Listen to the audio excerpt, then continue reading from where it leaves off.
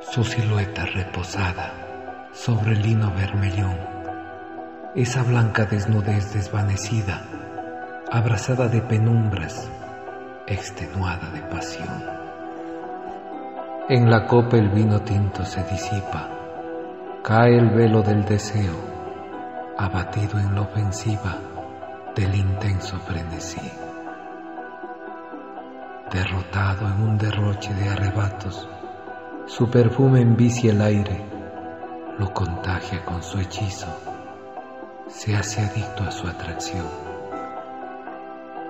Impetuoso y desmedido fue el encuentro, dos imágenes envueltas por las sombras, la caricia suspendida en sus antojos y unos besos libertinos, delirantes, exuberantes, esparcidos en su piel.